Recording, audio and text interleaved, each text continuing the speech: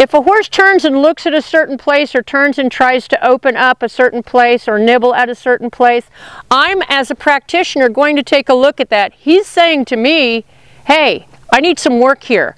Energy shifts and releases for the horse. There's a big deep sigh and a, and a you know, a kind of blue air there. He'll lick his tongue. Um, he'll chew and he'll have belly gurgles or farts. All of those things say that he's doing the work He's with the work and he's actually readjusting himself.